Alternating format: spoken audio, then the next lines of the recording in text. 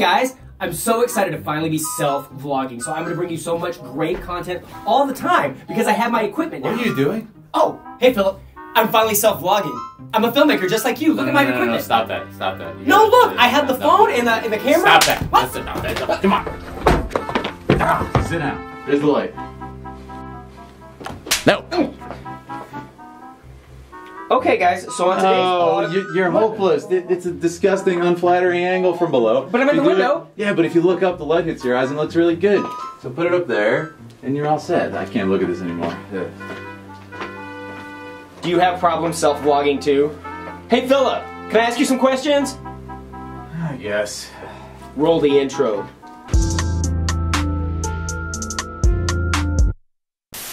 Hey everybody, Coach Jimmy here. I'm here with the Philip Hartshorn. You know his work, but you probably haven't seen him. Actually, Philip is my videographer, and everything that we do on this channel, you're behind the camera. Yeah. So we're here in London right now, and we've been shooting some epic stuff. But for the next couple days, Philip's going back home. I'm going to be by myself, and so I wanted to have you on the channel to give us some tips on what do you do if you're not a trained filmmaker like yourself, but you're trying to shoot yourself. What are some tips? I kind of come at things from an artistic angle, from like a cinematography angle. And the main difference is a lot of people who are filming sort of vloggy stuff, there's just no art to it, there's no science, and it doesn't look very aesthetic. Okay. Um, now, the way we get around this is we kind of apply the film side to it.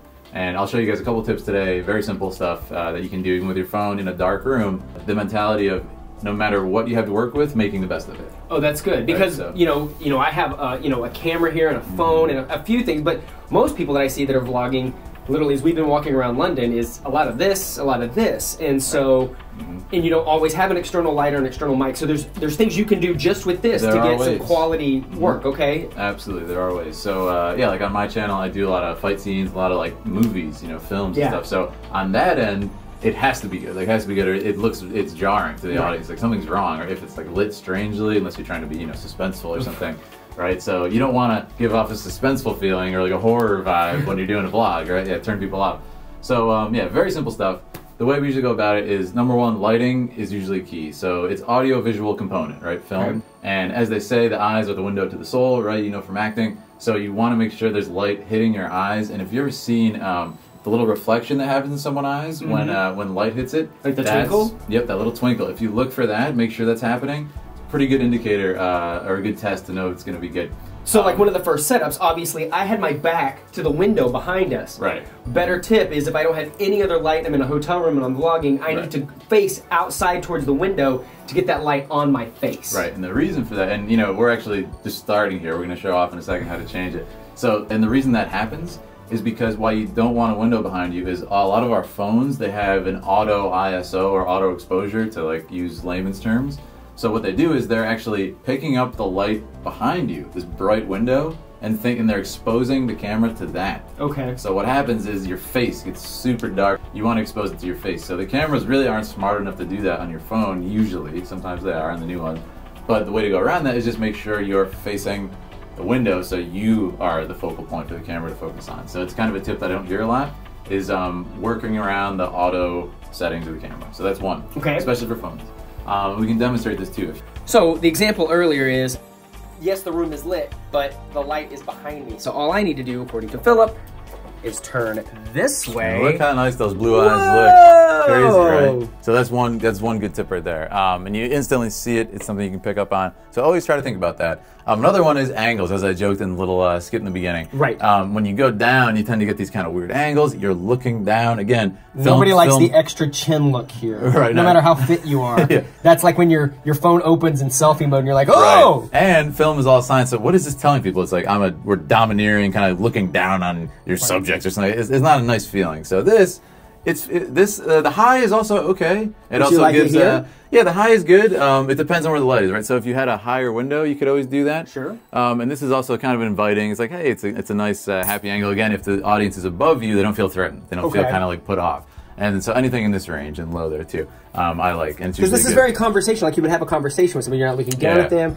Precisely. And now uh, we can try and explain this in here. So a good uh, two rules I'll give you guys, very kind of basic level, so you can understand in film is number one, the rule of thirds. Okay. Okay, so this is all about aesthetics. Now, if you notice, there's actually a grid, and I can overlay a grid over the over the film right here. I see Um, that here. So if I right, put myself notice- in that grid, Right. So There. there are three thirds here. This being the first one, this being the second one, this being the third one. So if you place the subject on this grid right here, okay, you'll notice uh, it looks very aesthetic. And then say you were outside vlogging something like what we were at today, Buckingham Palace. Right. Gorgeous. You would want to place yourself on that third and then have the palace over here. So Gotcha. I'm, I'm the palace, right? And we can even demonstrate some shots I took of the palace. okay, Um, and then as opposed to just kind of like, hey, I'm here at Buckingham. It's all janky. You can't really see it. Again, stuff, you have right. the bad angle. Right, and look at this. See, this is we're in front of amazing lighting right now, Yeah. and even now you can't see your eyes well. No, So because we're back here. light- yeah, so. And the eyes of the window to the soul, especially also vlogging.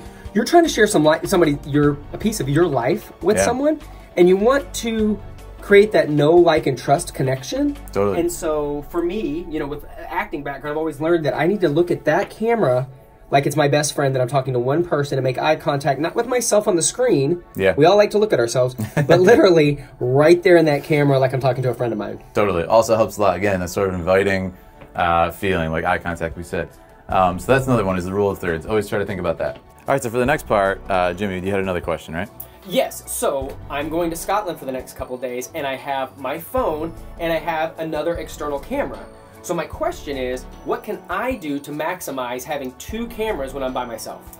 Right. So this goes into film theory again. The coolest thing is uh, you want to use utilize the idea of a wide shot or sort of an establishing shot that shows the entire scene, and then the idea of a closer shot that can kind of bring more human connection, a little bit more drama to it, whatever you're going for. So in a situation like this, this uh, again the Which phones. we have kind right of here. Hey, yeah. So what, what we like to do is phones tend to be quite wide, and you can always zoom in. Right. But they're wide, so you know you can do selfies and stuff. So what I would do is I would place the one I have in my hand here somewhere back here. If Jimmy was sitting in that so If chair. Sitting in this chair, Right. Mm-hmm. that's going to be your wide shot, and this is going to be what I'm speaking to, and Right. therefore I have those two angles. Right, and this is cool, and it kind of you could put it here, you can put it over here, so it kind of showcases the room more. You got the you got the champagne right here, very nice, very nice.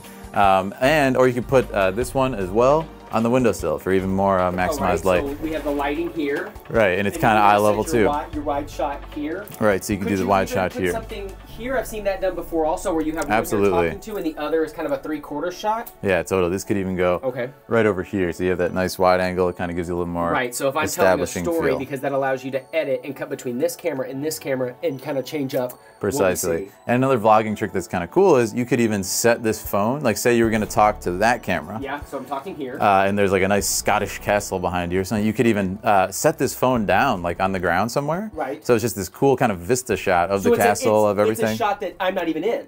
Oh no, you'll be in it. But you could even like say you're going to talk to it, just have it on the ground, kind of far away, so you see your full body Oh. with the set behind you.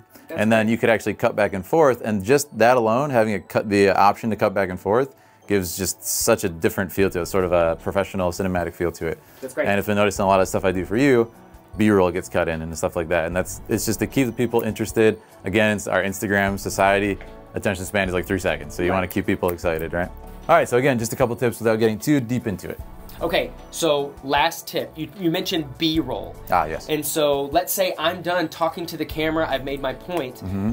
But what you do so well for me, because when I get when I get the finished edit back, I, it's almost like a, a kid at Christmas because it's all these cutaways that I don't even know that that Philip shot. And so we consider that B-roll, extra shots that are away, establishing enhancing, shots, yeah. Enhancing. That's great. So let's say, what are some tips on capturing B-roll? So if I'm doing a tutorial or a vlog, but I want some cutaway shots, Right. what are some some simple tips? Cool, cool. So perfect example is uh, Buckingham or Kensington Palace. I'll show the footage we got on this Yeah. trip. Um, I got shots of Jimmy as he's talking, and again, it's a pretty pretty standard shot. It's either uh, with this, so you can see his head in the frame, or with the wider angle of the full palace behind him. So what we're doing is we're talking about sort of the the royalty or the majesty of the palace. And you talked about the queen and everything. A cool Right, point. Watch yeah. watch this video. But yeah, so what I was doing is okay. As I'm listening, constantly editing in my head and say, what what would I want right here while he's saying, you know, the queen could be here. It's, uh, oh, let's show the flag, which actually shows that the queen is there, Okay. uh, as we were told earlier today. Um, if the flag is flying, the queen is in residence at the palace. So, okay, I got a couple shots of the flag. Okay. Um, you also talked about sort of the grandeur. Okay, let me show off some of the, the art, the intricacy. So I got some close-ups of the gate, the beautiful design and the bronze work. Um, we got a shot of the the obelisk with the uh, the lions and all, all so these sometimes it's easier to get the B-roll after because you know what you talked about. Absolutely. Okay, yeah. and then so you're just like, kind oh, I be. Mm-hmm. reference these things. Plus, I, I love the fact that there's usually some kind of establishing shot, right? Yep, like very important. You Mhm. set the scene. Like, sometimes you can start a vlog and the first thing they see is you. Right. But sometimes it's also nice to set, Yeah. like uh, a setting, like The- they do in a movie. The best, I was gonna say, the best way to do this is uh, just start to think more filmically. Next time you watch a movie or watch your favorite movie, analyze it a little bit. Okay, how did they start my favorite scene? Did they start, uh, again, you can kind of start with less information for the audience. If I start in a close up of Jimmy's face and he looks upset, say, okay, less information for the audience, right? He looks, he looks very upset. What's going on here? I need more answers. Right. It's asking a question. Why is he upset? Um, if we start with a wide shot and you see Jimmy looks upset and I'm dead with a knife in my chest, it's like, okay, Something happened. either he killed Philip uh, because he screwed up a film job, or you know maybe he discovered him and he's upset. So again, it's it's conveying information to the audience. How do you want to do that? What mood do you want to set? And these are the things uh, by kind of watching your favorite movies, you'll see the director's choice. Why did he show Jimmy's face first, or the or the wide shot? So if you notice when we were leaving Buckingham today, Yeah. I said, oh, what am I doing? Like I need the full shot of the the whole Yeah, you palace. got the and I was like, let, let me walk back for a second. I got because we had you know in front of the gate. Yeah. Um, but I got that grand shot, so we can use probably near the beginning when he says, "We're here at Buckingham Palace." Boom, Right. the grand shot. So for that, I don't want to confuse the audience. I want them to see Buckingham. Yeah. And these are all great because you can Yeah. take any one of these, and you don't have to be an expert filmmaker like Philip. No, but no. this is what's going to set you apart when filming your own vlogs. Besides those people that just Yes. are doing this and nothing else with bad lighting. Yeah. So Philip. As always, we always do epic work together. I'm glad Yeah. my audience can finally meet you. How do they find you? uh, you can find me on YouTube. Uh, that's my biggest platform. And we do everything from martial arts to art and filmmaking and everything. And that's just my name or the Philip, and I'm sure he's linked it below. yeah, we got it down below, and we'll take Come care say of that. Come say hi. Yeah, and of course the same on Twitch and Instagram. Come say hello. Absolutely. So Any questions you have, by the way, put it in the comments on Jimmy's video or come ask me. I'm always always glad to help. very interactive in the comments. That's one thing I've learned from him as well. So thank you guys for watching. Make sure to subscribe and share this. Make sure to subscribe to Philip's channel as well, and we'll talk to you next time. All right, thanks guys.